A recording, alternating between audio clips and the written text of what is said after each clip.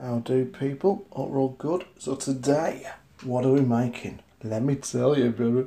We are going to be making homemade turkey burgers from scratch. Well, I'm not actually going out and catching the turkey myself, but everything apart from that is from scratch. So we got some mince earlier on, as you can see here. This is 5% mince, I believe. We've got some natural breadcrumbs, they're very important. And that's all you need, mince and breadcrumbs. And then whatever you want to add to it in terms of seasoning. So we will be adding garlic granules.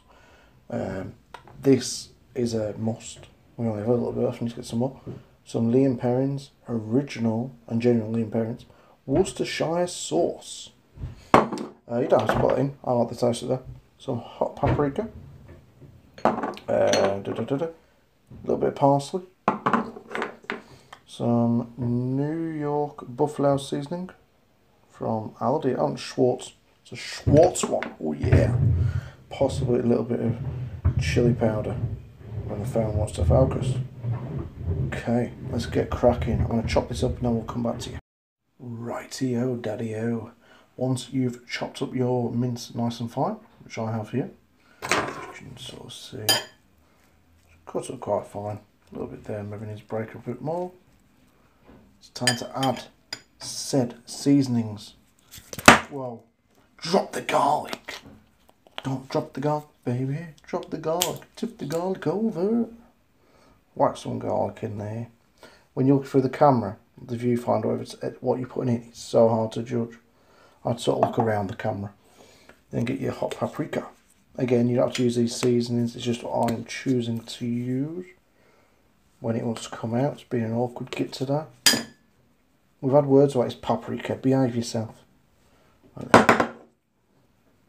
Yep, there we go. Get in.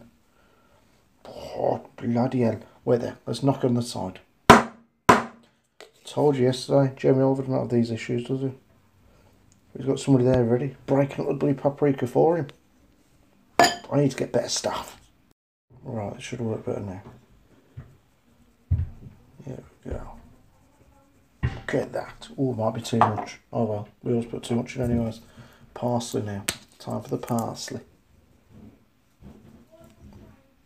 Okay, parsley finally going in after it was just disrupted by one of our waitresses, aka Tia, in and out the bloody kitchen. Cheeky sod.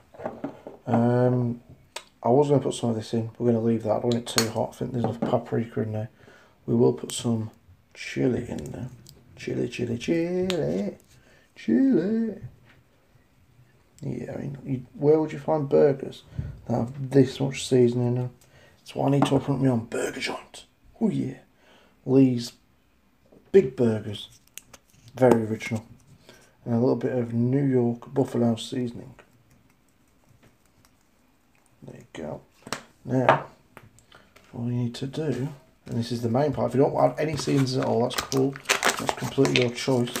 But I do recommend not spilling breadcrumbs everywhere.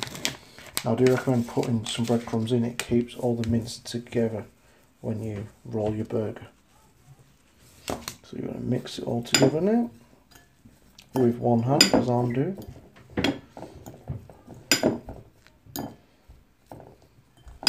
So I'm going to roll these out to two burgers. Because this is only a small pack of mince, so it's one burger each. And I'll catch you in a sec. And here we have our burgers. These big boy burgers. Coming at you like Cleopatra. Hopefully these taste good. I had a turkey burger before, I don't think so. This will be interesting. And you just fry these off. Again, uh, we use Frylight pretty much with all meals, even whether we're eating healthy or doing, you know, unhealthy mukbangs. We usually use that if we can. Uh, so I'll show you these in a bit, guys. Give them a go. Give your, give Lee's big bird, big, give Lee's big boys, big boy burgers a go. I'll show you the finished meal, guys. Take it easy. And here we have the burgers guys. So I started these off in the oven on a low heat just to seal it in a little bit rather than whacking straight in a frying pan where they might have stuck. And now I'm just frying them off in the pan to finish the deal. Woohoo! Nearly but dinner time! Woohoo! Yeah baby! And here we have a finished burger. which This one will be mine. So I've got some hot chili sauce on there, lettuce, cucumber, cucumber and lettuce on the side. Yum yum, getting my tum tum.